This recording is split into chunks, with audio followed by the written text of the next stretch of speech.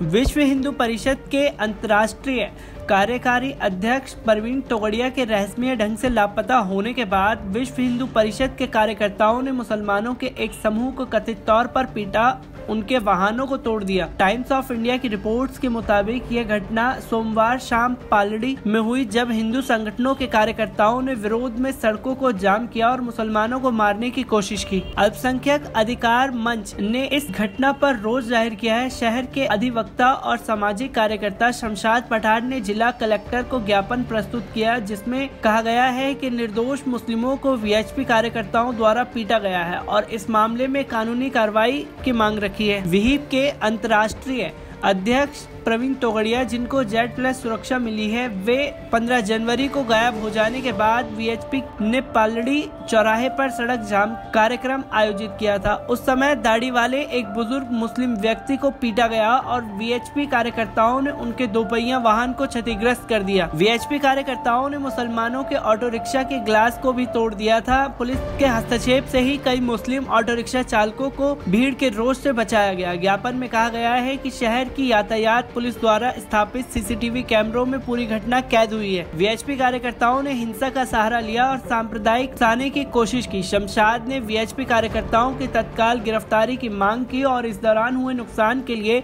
राज्य सरकार द्वारा मुआवजा दिए जाने की मांग रखी है। Bureau report, Palpal news.